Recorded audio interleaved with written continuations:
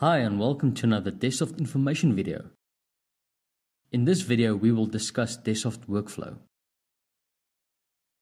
DesSoft implements the DesSoft Workflow functionality for change control management.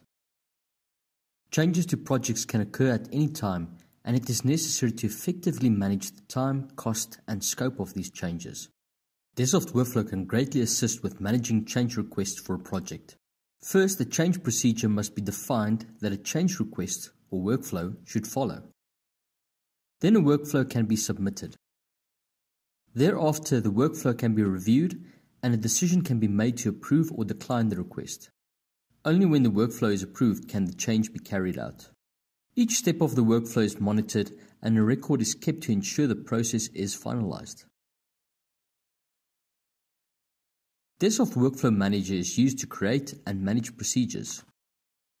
The defined procedure includes documentation that should be followed, as well as all persons involved together with their assigned roles. Project documentation is submitted as part of the workflow using any of the DesSoft design or workflow applications. When a user submits a workflow, all persons associated to the procedure will be notified. The workflow can then be reviewed using the DesSoft Workflow Manager or the DesSoft Workflow Client. Once all applicable persons have signed the workflow or change request, it can then be executed if it has been approved, or the workflow can be declined. After execution, the workflow can be finalized by changing the status to completed. DesSoft Workflow ensures that changes can be communicated concisely to be implemented effectively. Make DesSoft Workflow part of your productivity toolbox. Thank you for watching this DesSoft video.